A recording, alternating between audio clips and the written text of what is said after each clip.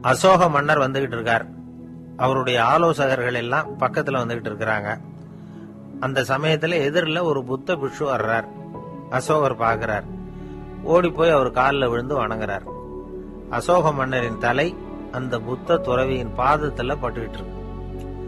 பக்கத்துல நின்றுகிட்டு இருந்த அமைச்சருக்கு இது ரொம்ப சங்கடமா போச்சு. ரொம்ப வருத்தப்பட்டார். நம்ம அசோக சக்கரவர்த்தி எப்பேற்பட்டவர் அவரோட தலை ஒரு சன்னியாசியின் பாதத்துல படுறதா அப்படின்னு நினைச்சு ரொம்ப கவலைப்பட்டார். அரண்மனைக்கு திரும்பினதும் அமைச்சர் மெதுவா ஆரம்பிச்சார். அரசே எனக்கு ரொம்ப வருத்தமா இருக்குது அப்படின்னார். எதுக்குன்னார் மன்னர்? அசோக சக்கரவர்த்தியின் தலை அதாவது அந்த சிரம் ரொம்ப மதிப்புமிக்க ஒன்று. அது வந்து ஒரு சன்னியாசியின் காலில் படலாமா? அப்படின்னார். அசோகர் பதில் சொல்லல. சிரிச்சார் போயிட்டார். அதுக்கப்புறம் ஒரு சரியான சந்தர்ப்பத்துக்காக காத்துக்கிட்டு இருந்தார். ஒரு நாள் அமைச்சரை கூப்பிட்டார். எனக்கு மூன்று தலைகள் வேணும் அப்படின்னார். சொல்லுங்க கொண்டுகிட்டு வரேன் அப்படின்னார் அமைச்சர். அசோகர் சொன்னார் முதல்ல எனக்கு தேவையானது ஒரு ஆட்டின் தலை ரெண்டாவது ஒரு புலியின் தலை மூன்றாவது ஒரு மனிதனின் தலை. இதுதான் அசோகர் கேட்டது. எங்க இருந்தாலும் கொண்டு வாங்கன்னார். அமைச்சர் புறப்பட்டார். ஆட்டுத்தலை புலித்தலை கிடைச்சிட்டுது. அப்புறமா ஒரு சுடுகாட்டுக்கு போய் ஒரு மனித தலையும் சேகரம் பண்ணிட்டு ராஜா கிட்ட வந்துட்டார். அரசே உங்கள் ஆணைப்படி மூன்று தலைகளையும் கொண்டு வந்திருக்கிறேன்னார். அசோகர் பார்த்தார் ரொம்ப நல்லது. இப்ப இது மூன்றையும் எடுத்துக்கிட்டு போய் சந்தையில வித்துட்டு வாங்க அப்படின்னார். அமைச்சர் அதுகளை எடுத்துக்கிட்டு சந்தைக்கு போனார். முதல்ல ஆட்டுத்தலை நல்ல விலைக்கு வித்து போச்சு. நல்ல விலை கொடுத்து வாங்கிட்டு போட்டாங்க. அடுத்தபடியா புலி தலைய ஒருத்தர் வாங்கிட்டார். அதை பாடம் பண்ணி வீட்டில் மாட்டி வைக்கலாமே அப்படின்னு நினைச்சு அதையும் வாங்கிட்டு போட்டார். மனித தலையை மட்டும் வாங்குறதுக்கு யாரும் முன் வரல. எல்லாரும் அதை பார்த்ததும் பார்த்துட்டு விலகி போக ஆரம்பிச்சாங்க. அமைச்சர் திரும்பி வந்தார். அரசே இந்த தலையை மட்டும் யாரும் வாங்க மாட்டேங்கிறாங்க அப்படின்னார். சரி பரவாயில்ல. இதை வந்து இலவசமாவே இனாமாவே யாருக்கிட்டயாவது கொடுத்துட்டு வந்துருங்க அப்படின்னார். அமைச்சர் மறுபடியும் சந்தைக்கு போனார். இதை இலவசமா தரேன். இதை வாங்கிக்கோங்க அப்படின்னார். அப்பவும் அதை யாரும் வாங்கிக்கிறதுக்கு தயாரா இல்லை. மறுபடியும் திரும்பி வந்து மன்னர்கிட்ட விவரத்தை சொன்னார். இப்போ மன்னர் சொல்றார் அமைச்சரே உயிர் இருக்கிற வரைக்கும் தான் இந்த தலைக்கு மதிப்பு. ஜீவன் போனதுக்கு அப்புறம் அதோட மதிப்பும் போயிடுது. அதனால மதிப்பு இருக்கும் பொழுதே பெரியவர்கள் பாதம் பணிந்து அந்த புனிதத்தை வந்து பெற்றுக்கொள்ளணும் அப்படின்னார். பணிவுங்கிறது வேற அடிமைத்தனம்ங்கிறது வேற. பெரியவர்களை பணிவது நமக்கு பெருமை தரக்கூடிய விஷயம். இதை வந்து மனசுல வச்சுக்கிட்டு எப்போ காலில் விழணும் எப்போ காலில் விழக்கூடாது அப்படிங்கிறத முடிவு பண்ணிக்கணும். ஒரு சாதாரண ஆள் நடந்து வந்துகிட்டு இருந்தார். எதிரில் வந்த ஒரு பெரிய மனுஷன் ஓடி போய் அவர் காலில் விழுந்து தன்னுடைய தலையை அவர் பாதத்தில் கொண்டு போய் வச்சார். கொஞ்ச நேரம் கழிச்சு எழுந்திரிச்சு வந்துட்டார். வந்த பிறகு இவரை கேட்டேன் ஏன் திடீர்னு ஓடி போய் அந்த ஆள் காலில் விழுந்தீங்க? அப்படின்னேன். அவர் போட்டிருக்கிறது என்னோட காணாம போன செருப்பான்னு கண்டுபிடிக்கிறதுக்காக அப்படி விழுந்தேன் அப்படின்னார்.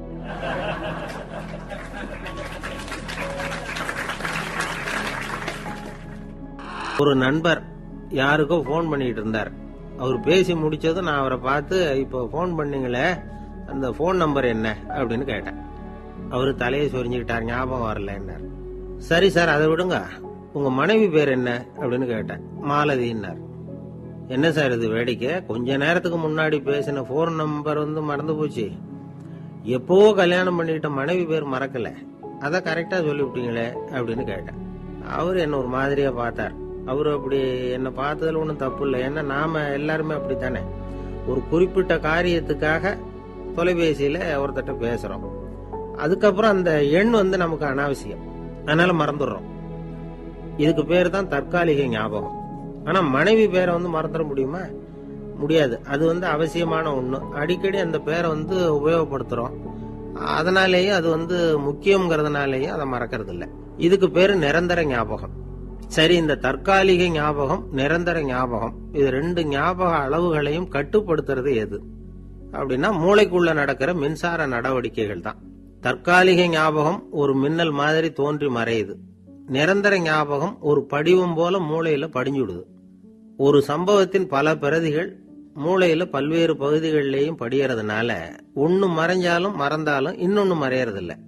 இப்படிப்பட்ட நிலைமையில தான் தொண்டையில இருக்கு வாயில வரமாட்டேங்குது சார் அப்படிமா ஒருத்தருக்கு எந்த துறையில ஆர்வமும் ஈடுபாடும் அதிகமோ அது சம்பந்தமான ஞாபக சக்தி அதிகமா இருக்கும். தொழிலை விரும்புகிற ஒரு டெலிபோன் ஆபரேட்டருக்கு எண்கள்லாம் நல்ல ஞாபகம் இருக்கும். அது மாதிரி கவிஞர்களுக்கு வார்த்தைகள் நல்ல ஞாபகத்தில் இருக்கும். இது ஒரு பக்கம் இருந்தாலும் ஒரு மூளை வந்து எண்களை விட எழுத்துக்களை விட படங்களை ரொம்ப சுலபமா ஞாபகத்துல வச்சுக்குது. புரிஞ்சுக்கிற தன்மை அனுபவம் புத்தி கூர்மை இது கூடி குறையறத பொறுத்து ஞாபக சக்தியும் ஏறும் இறங்கும். இப்போ உதாரணத்துக்கு ஒரு பையனுக்கு படிச்சது எதுவும் ஞாபகத்துல இல்லைன்னா அவன் அதை சரியா புரிஞ்சுக்கலன்னு அர்த்தம். இந்த மறதிங்கிறது எந்த சமயத்துல ஒரு பிரச்சனை ஆகுது தெரியுமா? உங்களுக்கு வேண்டியப்பட்ட ஒருத்தரை ஞாயிற்றுக்கிழமை சாயந்தரம் சரியா அஞ்சு மணிக்கு கடற்கரைக்கு வர சொல்லிவிட்டு அந்த நேரத்தை மறந்துட்டா அது பரவாயில்ல. வர சொன்னதையே மறந்துட்டாதான் நிலைமை மோசம்னு அர்த்தம். இப்படி இருந்தா இது வந்து சிகிச்சை எடுத்துக்க வேண்டிய நிலைமைங்கிறத புரிஞ்சுக்கணும். ஆமா இதுக்கும் மருந்து இருக்கு.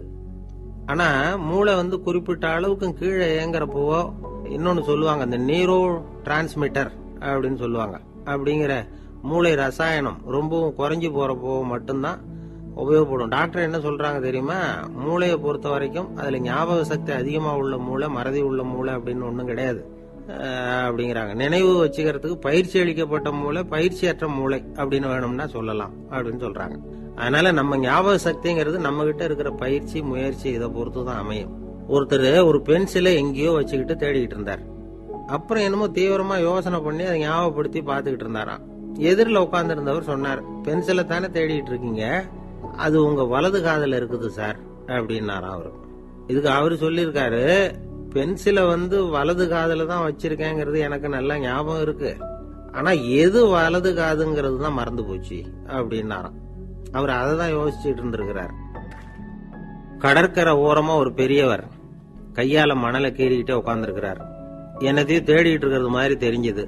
மெதுவா கிட்டத்துல போய் என்னத்தை தேடிட்டு இருக்கிறீங்க? அப்படின்னு கேட்டோம். அவரு சாவகாசமா நிமிந்து பார்த்து நிம்மதியை தேடிட்டு இருக்கிறேன்னார். நாங்க ஒரு மாதிரி ஆயிட்டோம். இருந்தாலும் சமாளிச்சுக்கிட்டு சார் மணல்ல வந்து கிழிஞ்சல் தான் கிடைக்கும். நிம்மதி கிடைக்காது. அப்படின்னோம்.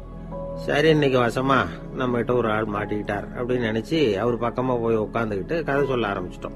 ஒரு பெரிய மன்னர் இருந்தார். அவருக்கு எல்லா வசதியும் இருந்தது. இருந்தாலும் ஒரே ஒரு குறை. அது என்னன்னா நிம்மதி இல்லைங்கிற குறை. அரண்மனையில தினமும் கலை நிகழ்ச்சி நாட்டியம் எல்லாம் நடந்துகிட்டு தான் இருந்தது. இருந்தாலும் நிம்மதி இல்லை.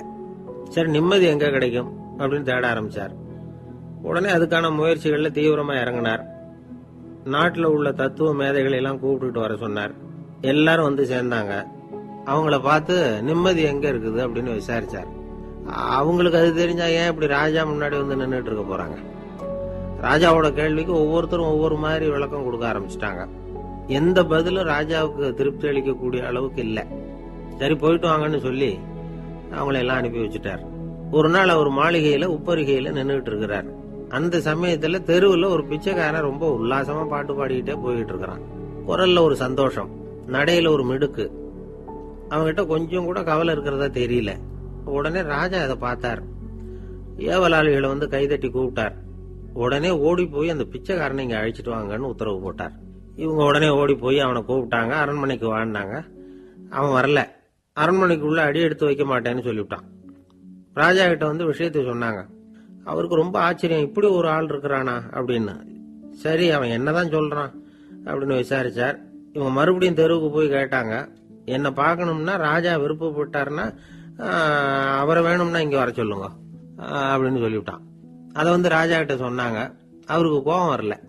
இவ்வளவு சுதந்திர உணர்வோடு இருக்கிறவன் சாதாரண ஆளா இருக்க முடியாது அப்படின்னு நினைச்சார். உடனே கிடுகிடுன்னு இறங்கி தெருவுக்கு வந்தார் பிச்சைக்காரங்கிட்ட போனார். நீ கவலைப்படாம சந்தோஷமா பாடிக்கிட்டு போறிய அது எப்படி முடியுது உன்னால? அப்படின்னு கேட்டார். ஏன் அப்படி கேக்குறீங்கன்னு அவன் அதுக்கு இல்ல எனக்கு அரண்மனையில எவ்வளவோ சுகபோகங்கள்லாம் இருக்கு இருந்தாலும் நிம்மதி இல்லை.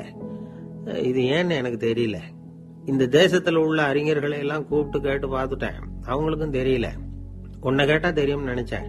அதனாலதான் சந்திக்கிறதுக்கு ஆசைப்பட்டேன். ஆனால் நீ வரமாட்டேன்னுட்டியே அப்படின்னார். பிச்சைக்காரன் கடகடன்னு சிரிக்க ஆரம்பிச்சுட்டான். மகிழ்ச்சிக்கும் உங்களுக்கும் தடையா இருக்கிறது இந்த மாளிகை தான் இதை விட்டுட்டு வெளியில வந்துட்டா நிம்மதி தேடிட்டு வந்துடும்னா நான் அரசன் எனக்குன்னு கடமைகள் இருக்கு. அதையெல்லாம் விட்டுட்டு எப்படி வர முடியும்னார் ராஜா. ரெண்டும் ஒரே நேரத்தில் கிடைக்கணுங்கிறது முடியாத காரியம். உங்க சுகபோகத்துக்கு விலையாதான் உங்க நிம்மதியை கொடுத்துக்கிட்டு இருக்கிறீங்க. என்ன பாருங்க என்கிட்ட எதுவும் இல்லை. அதனால எதுவும் போயிடுமோங்கிற பயமும் இல்ல. நிம்மதியா இருக்கிறேன் அப்படின்னா அவன். ராஜா உடனே சந்தோஷப்பட்டு தன்னுடைய மேலங்கியை எடுத்து அவனுக்கு பரிசா கொடுத்தாரான் அவன் சிரிச்சுக்கிட்டே அதை வாங்க மாட்டேன்னு இதை நீங்க எனக்கு கொடுக்கறதுனால எந்த பயனும் இல்லை. அதே நேரத்துல அதை வாங்கிக்கிட்டேன்னா அடுத்த வினாடியில இருந்து அதை எப்படி காப்பாத்துறதுங்கிற கவலை எனக்கு வந்து சேர்ந்துரும். அப்புறம் தூக்கம் வராது நிம்மதி போயிடும் அப்படின்னு சொல்லிவிட்டு அவன் பாட்டுக்கு சந்தோஷமா பாடிக்கிட்டே போயிட்டான். நிம்மதி எங்க இருக்குங்கிறதையும் ராஜா தெரிஞ்சுக்கிட்டார். அந்த இடத்துக்கு தன்னால போக முடியாதுங்கிறதையும் அவர் புரிஞ்சுக்கிட்டார். இப்படி இந்த கதைய அந்த கடற்கரையில மணலை கீறிக்கிட்டே உட்கார்ந்துருந்தார. அந்த பெரியவர்கிட்ட சொல்லி முடிச்சோம். அவர் முகத்துல ஒரு தெளிவு தெரிஞ்சது. எங்களை நிமிந்து பார்த்தார். ரொம்ப நன்றிங்க. இப்ப எனக்கு தெரிஞ்சு போச்சு. நிம்மதி வேணும்னா அதுக்கு என்ன பண்ணணும்னு இப்ப நல்லா புரிஞ்சுக்கிட்டேன் அப்படின்னார். என்ன புரிஞ்சுக்கிட்டீங்கன்னு கேட்டோம். இனிமே இந்த பக்கம் வந்தா உங்க கண்ணுல படாத இடமா பார்த்து உட்காரணும்னு புரிஞ்சுக்கிட்டேன் அப்படின்னார். அதனால இந்த நடைப்பயிற்சி பண்றவங்க கவனிக்க வேண்டிய சில முக்கியமான குறிப்புகள் இருக்கு. அது என்னென்னங்கிறத அவங்க தெரிஞ்சுக்கணும். அது தெரிஞ்சு வச்சுக்கிறது நல்லது. இதெல்லாம் மருத்துவ நிபுணர்கள் சொல்ற குறிப்புகள். அவங்க என்ன சொல்றாங்க தெரியுமா? உங்க வயசு நாற்பதுக்கு மேலையா? உங்க எடை வந்து இருக்க வேண்டியதை விட பத்து கிலோ அதிகமா இருக்குதா? நீங்க புகை பிடிக்கிறவரா? இதய நோய் ரத்த நாள நோய் உயர் ரத்த அழுத்தம் இப்படி ஏதாவது உங்களுக்கு உண்டா? அப்படின்னா நீங்கள் உங்கள் இஷ்டத்துக்கு வரிஞ்சு கட்டிக்கிட்டு நடைப்பயிற்சி பண்ண ஆரம்பிச்சிடாதீங்க. முதல்ல ஒரு மருத்துவ பரிசோதனை பண்ணிக்கோங்க. அதுதான் நல்லது. அப்படின்னு அவங்க சொல்கிறாங்க நடக்கிறப்போ உடற்பயிற்சி செய்கிறப்போ மார்பு பகுதியில் அல்லது வேற எங்கேயாவது தொடர்ந்து வலி இருந்ததுன்னா பயிற்சியை நிறுத்தி விட்டு டாக்டரை போய் பார்க்கணும். நடைப்பயிற்சி பண்ணுறப்போ உங்கள் சக்திக்கு தகுந்த மாதிரி மெதுவாக அதிக கஷ்டம் இல்லாமல் முன்னேறலாம். அங்கே என்ன போட்டியாக வைக்கிறாங்க? முந்திக்கிட்டு போய் என்ன பண்ண போகிறோம் பரிசா வாங்க போகிறோம் அதனால நிதானம் அவசியம் அப்படிங்கறது அவங்க ஆலோசனை. தொந்தரவு கொடுக்காத ஷூ ட்ரெஸ்ஸு இதுகளை உபயோகப்படுத்துங்க. பாதத்துல ஆடு தசை இருக்குல்ல அங்க ஏதாவது பிரச்சனை இருந்ததுன்னா டாக்டரை பாருங்க. இந்த பாதத்துல வலி வரும் அந்த இடத்துல. வெயில் காலமா இருந்தா தலைக்கு தொப்பி வச்சுக்கோங்க. பனியில் நடந்தாலும் அப்படித்தான் தலையை பத்திரமா பார்த்துக்குங்க. நம்ம கிட்ட ஏதோ கொஞ்சம் உருப்படியா தெரியறது அதுதானே. உடற்பயிற்சிக்கு முன்னாடி பின்னாடி பயிற்சி செய்யறப்போ நிறைய தண்ணி குடிக்கலாமா?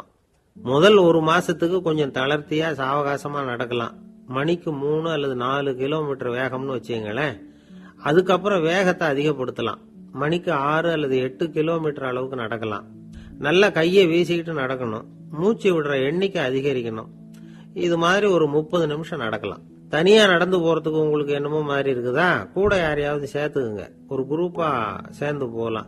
நடக்கிறதுங்கிறத ஒரு சந்தோஷமான சமாச்சாரமா ஆக்கிக்கணும். தினம் இப்படி நடக்க வேண்டி இருக்குதே அப்படின்னு புலம்பிக்கிட்டே போகக்கூடாது. சில பேர் நடக்கிறப்போ கடந்த காலத்தை அசை போட்டுக்கிட்டே போவாங்க. சில பேர் வருங்காலத்தை அசை போட்டுக்கிட்டே போவாங்க. சில பேர் முக்கியமான திட்டம்லாம் இப்படி நடக்கிறப்ப தான் தீர்மானம் பண்ணுவாங்க. நடக்கிறதுனால மன இறுக்கம் குறையுது பரபரப்பு குறையுது மன ஆற்றல் பெருகுது தன்னம்பிக்கை வளருது முதுமை வந்து தள்ளி போகுது செயல்திறன் அதிகரிக்குது. இதை தவிர உடம்புக்கும் பல விதமான சௌகரியங்கள் ஏற்படுது. அதனால இது வரைக்கும் நடக்க ஆரம்பிக்காதவங்க இனிமே வந்து இந்த குறிப்புகளை கவனத்துல வச்சுக்கிட்டு நடக்க ஆரம்பிச்சுடலாம். சார்லஸ் லேம்ப் அப்படின்னு ஆங்கில இலக்கிய மேதை ஒருத்தர் அவர் ஒரு தரம் உடம்பு சரியில்லைன்னு டாக்டர் கிட்ட போனாராம். டாக்டர் அவரை பார்த்துட்டு நீங்க தினமும் காலையில வெறும் வயத்துல நடக்கணும் அப்படின்னாராம். வெறும் வயத்துல நடக்கிறதுக்கு நான் தயார்.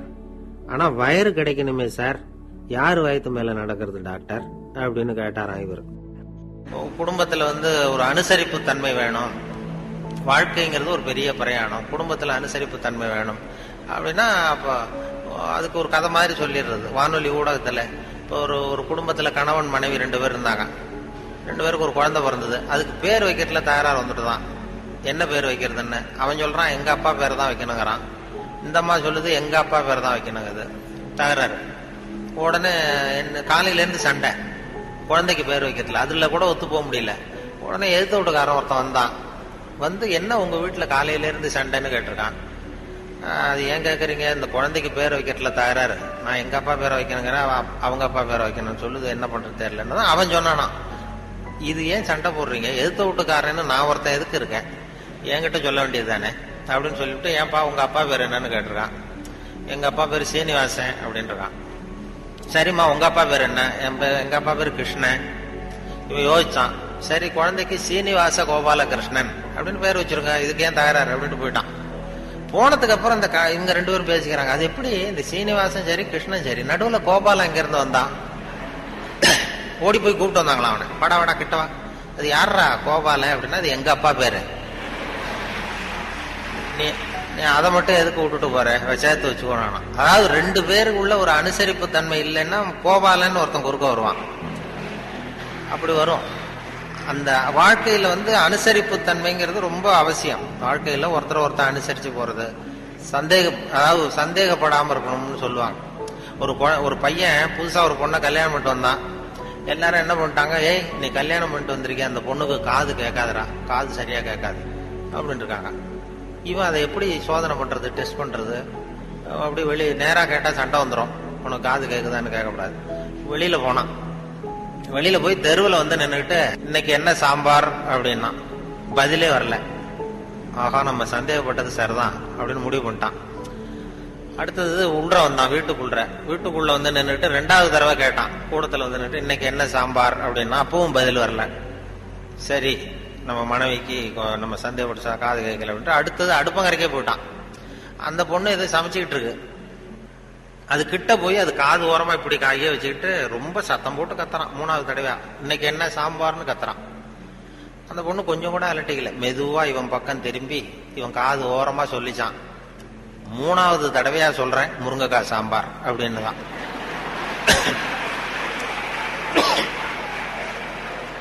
இவனுக்கு காது கேட்கல.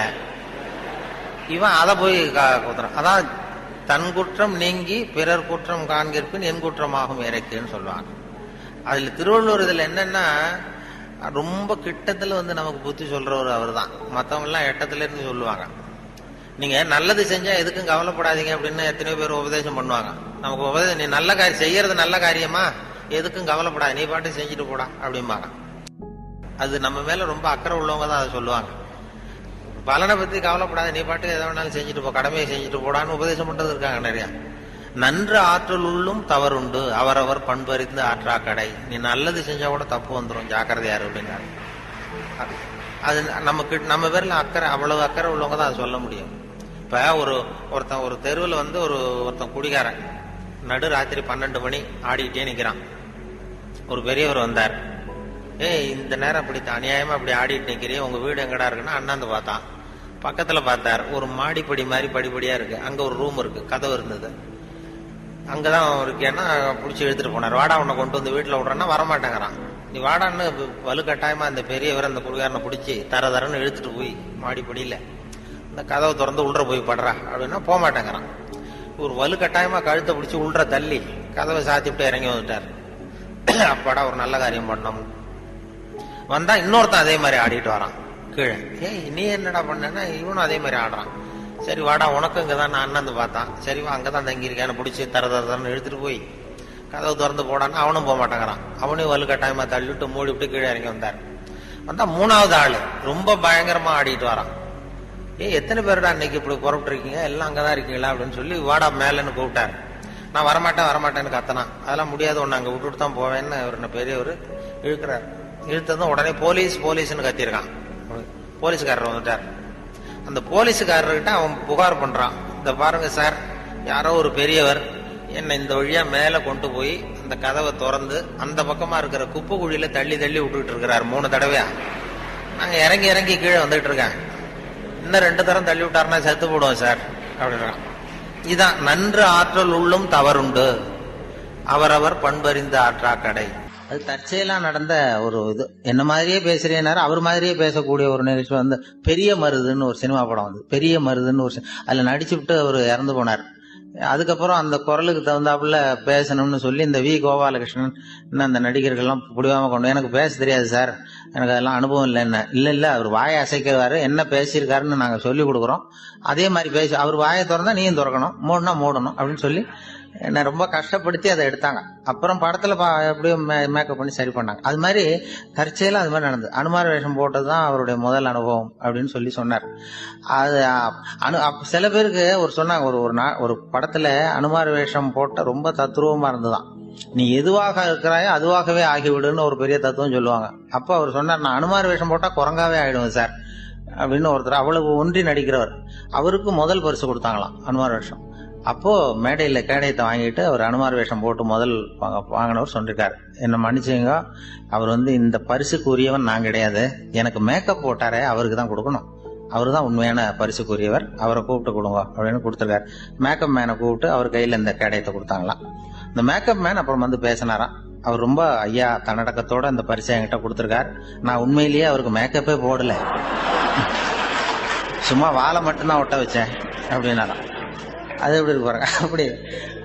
அது சில பேருக்கு அப்படி இயல்பா அமையும்.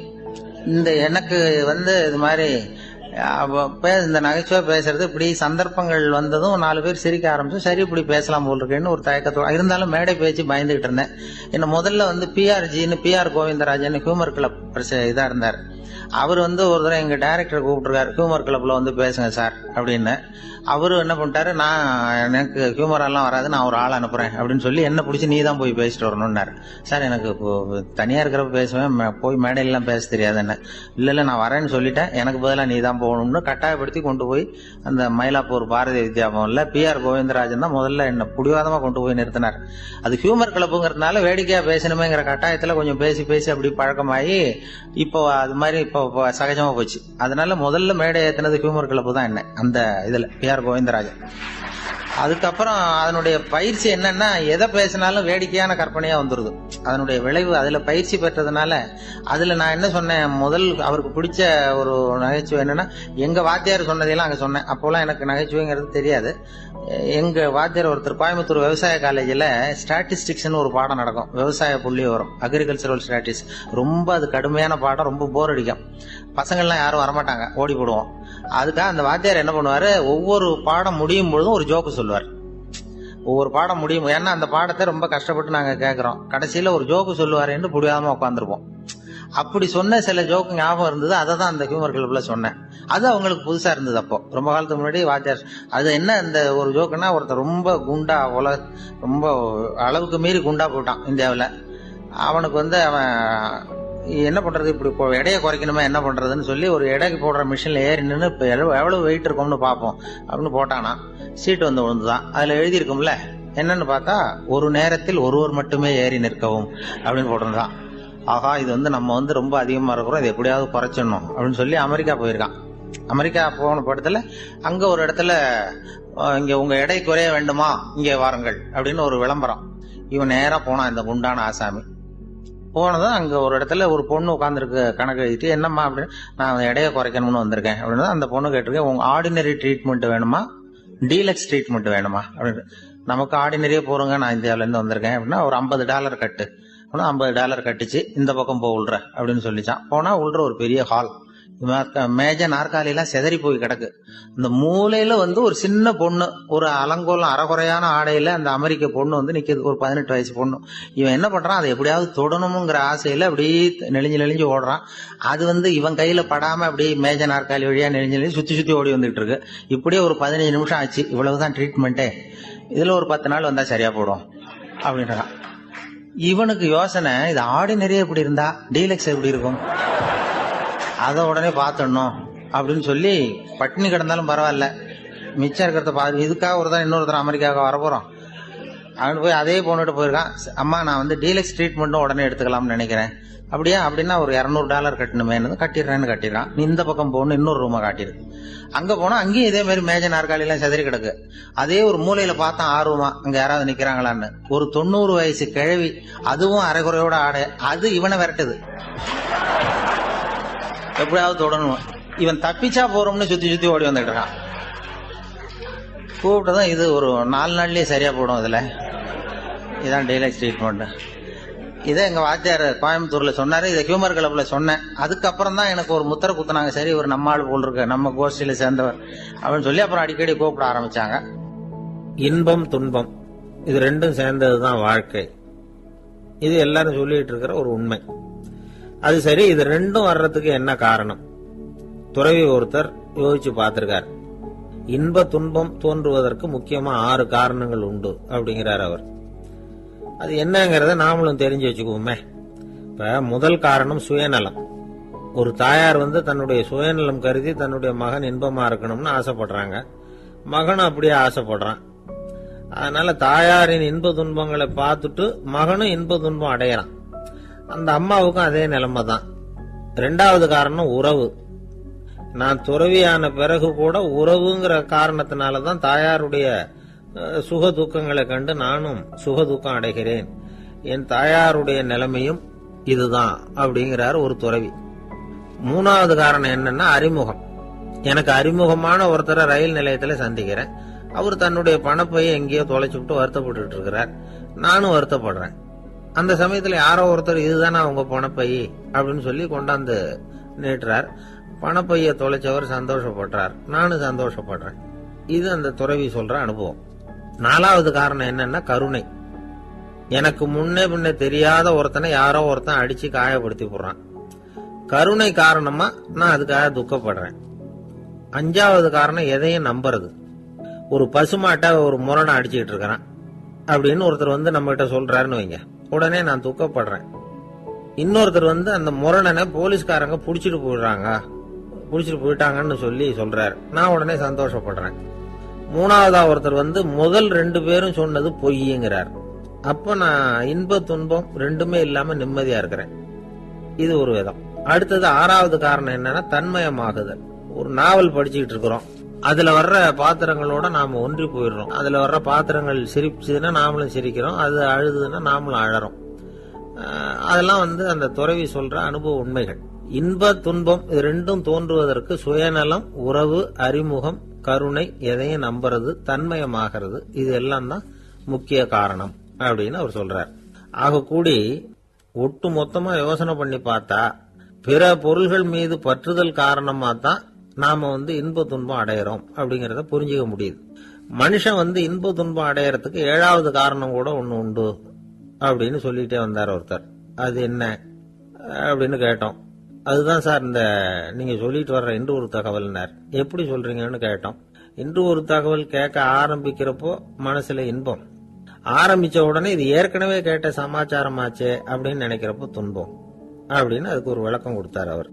அப்படின்னா மனுஷன் பண்ற தவறுகளுக்கு உண்மையான காரணம் தான் என்ன? இதே சந்தேகம் அர்ஜுனனுக்கும் வந்துதான்.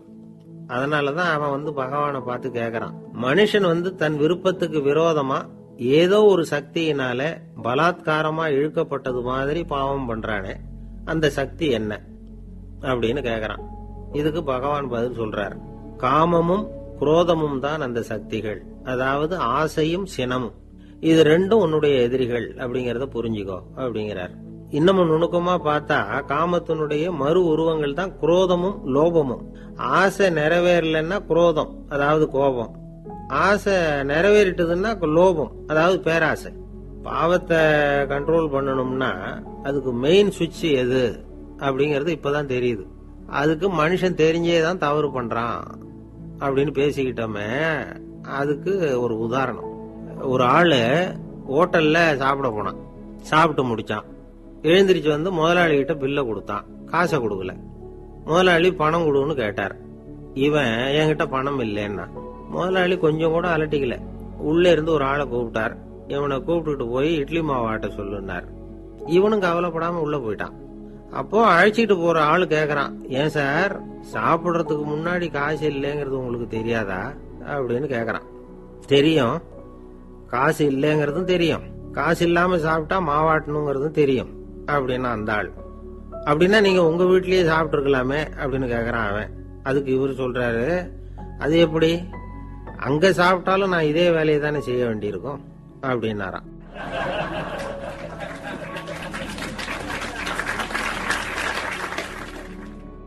நம்மள மாதிரி ஒரு ஆசாமி அவன் நம்மள மாதிரியே கற்பனை பண்ணான்.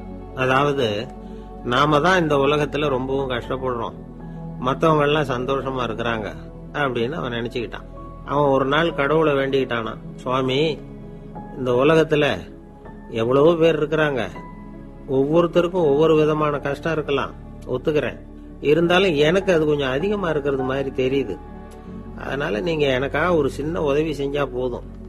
அது வந்து வேற ஒண்ணும் இல்ல. என்கிட்ட இருக்கிற துயரங்களை இன்னொருத்தர் யாருகிட்டயாவது கொடுத்துருங்க. அவர்கிட்ட இருக்கிற துயரங்களை என்கிட்ட மாத்தி கொடுத்துருங்க. ஒரு மியூச்சுவல் டிரான்ஸ்ஃபர் அவ்வளவுதான். அப்படி பண்ணிவிட்டா போதும். அப்படின்னு வேண்டிக்கிட்டானா அன்னைக்கு ராத்திரியே அவன் ஒரு கனவு கண்டிருக்கான். வானத்திலிருந்து ஒரு குரல் கேட்டிருக்கு. அது என்ன சொல்லிச்சு தெரியுமா? ஏ ஜனங்களே எல்லாரும் அவங்கவுங்க கஷ்டங்களை ஒரு பையில போட்டு எடுத்துக்குங்க. அப்படி எடுத்துக்கிட்டு நேரா இந்த ஊர் எல்லையில இருக்கிற கோயிலுக்கு வந்து சேருங்க அப்படின்னு அந்த குரல். ஆஹா கடவுள் நம்ம பிரார்த்தனைக்கு சேவை சாய்ச்சுட்டார் அப்படின்னு சந்தோஷப்பட்டான் இவன். உடனே என்ன பண்ணான் தன்கிட்ட இருந்த கஷ்டத்தையெல்லாம் ஒரு சாக்கு பையில போட்டு எடுத்துக்கிட்டான். வீட்டை விட்டு வெளியில வந்தான். தெருவுல இறங்கி நடக்கிறான். அங்க பார்த்தா ஏகப்பட்ட பேர் ஆளுக்கு ஒரு பைய தூக்கிக்கிட்டு கோயிலுக்கு போயிட்டு இருக்கிறாங்க. சில பேர் மூட்டையா கட்டி தலையில சுமந்துக்கிட்டு போயிட்டு இருக்கிறாங்க. இவன் பார்த்தான். இவனுக்கு ரொம்ப ஆச்சரியமா இருந்தது. ஏன்னா எல்லாரும் வச்சிருக்கிற பைய இவன் பைய விட பெருசா இருந்தது. இவன் பை தான் இருக்கிறதுலயே கொஞ்சம் சின்னதா தெரிஞ்சது. இப்ப அவன் மறுபடியும் சாமியை வேண்டிக்கிட்டான். கடவுளே இப்ப உள்ள சூழ்நிலையை கவனிச்சா என்கிட்ட இருக்கிற பைய பரவாயில்லன்னு தோணுது. அதனால வேற பைய எதையும் மாத்த வேணாம். இதுவே பரவாயில்ல. இந்த பையோட திரும்பி வீட்டுக்கு போனா போதும்னு நினைக்கிறேன். அப்படின்னு எதோ நினைக்க ஆரம்பிச்சுட்டான் அவன். எல்லாரும் கோயிலுக்கு போய் சேர்ந்தாங்க. கோயில்ல அந்த குரல் மறுபடியும் கேட்டுது. எல்லாரும் அவங்கவுங்க பைகளை சுகத்துல தொங்க விடுங்க. திடீர்னு விளக்குகள் அணையும். மணி அடிக்கப்படும். அதுதான் அடையாளம். அந்த சமயத்துல இருட்டுல உங்களுக்கு வேண்டிய பைய நீங்க வந்து மாத்தி எடுத்துக்கலாம். தேர்ந்தெடுத்துக்கலாம். வெளிச்சம் இருக்கிறப்பவே உங்களுக்கு பிடிச்ச பைக்கு பக்கமா பார்த்து நீங்க நின்னுக்கலாம். அப்படின்னு சொல்லி விவரம் சொல்லிச்சான் அந்த குரல். அப்படி சொன்னதுக்கு அப்புறம் திடீர்னு விளக்கு அணைஞ்சுது. மணி அடிச்சுது. கொஞ்ச நேரம் கழிச்சு மறுபடியும் விளக்குகள்லாம் எரிஞ்சுது. இப்போ பார்த்தா எல்லாரும் அவங்கவங்க பையையே கெட்டியா பிடிச்சிட்டு நிக்கிறாங்க. இவனும் அப்படியே நிக்கிறான். இவன் மெதுவா பக்கத்துல நிக்கிறவங்க கிட்ட கேட்டானா ஏன் நீங்க பைய கையிலேயே வச்சிருக்கிறீங்க? செவுத்துல மாட்டலையா? அப்படின்னு கேட்டிருக்கான். இல்லப்பா நீ ஏன் கையிலேயே வச்சிருக்கிறியோ அதே காரணத்துக்காக தான் நாங்களும் வச்சிருக்கிறோம். நம்ம கவலைகளை பத்தி நமக்கு ஓரளவுக்காவது தெரியும். ஆனா மத்தவங்க கவலைகள் வந்து நமக்கு வந்து பரிச்சயம் இல்லாதவை பழக்கம் இல்லாதது. அதனால வந்து நமக்கு தெரிஞ்ச கவலைகளை சமாளிக்கிறது சுலபம். தெரியாததை சமாளிக்கணும்னா மறுபடியும் ஆரம்பத்துல இருந்து ஆரம்பிக்கணும். அதனால பழைய நண்பர்களோட வாழறது தான் மேல் அப்படின்னு நானாம். அதுக்கப்புறம் அவன் அவன் தன்னோட பையே போதும்னு வீட்டுக்கு திரும்பி வந்துட்டானான் இது ஒரு பெரியவர் சொல்லி இருக்கிற கதை. அதனால நம்ம கிட்ட இருக்கிற கஷ்டங்கள் தான் பெருசு அதை இன்னொருத்தங்கிட்ட கொடுத்துட்டு மாத்திக்கலாம் அப்படின்னு நினைக்கிறது தப்பு. இதே மாதிரி இன்னொரு சம்பவம். ஒரு ஊர்ல ஒரு நாள் ராத்திரி ஆகாயத்துல இருந்து கடவுள் குரல் கேக்குது.